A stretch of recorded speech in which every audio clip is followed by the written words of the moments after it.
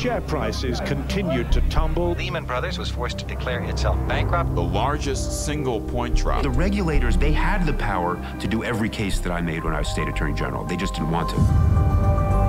We are watching this tsunami coming. They were having massive private gains at public loss. The financial engineer built dreams.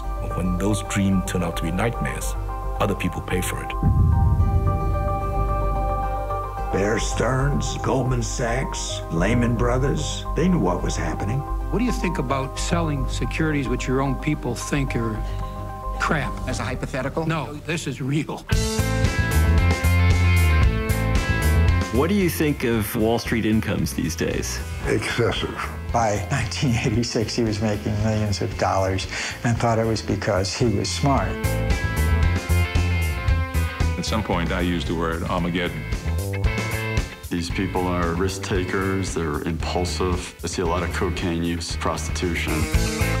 So do these guys know that they were doing something dangerous? I think they did. Um, I don't hear confessions. There's nothing we can trust anymore. We had a whole group of people looking at this for whatever reason. Me, you can't be serious. If you would have looked, you would have found things.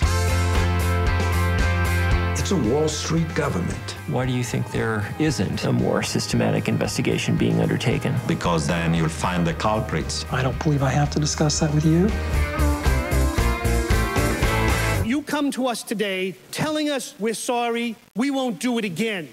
Well, I have some people in my constituency that actually robbed some of your banks.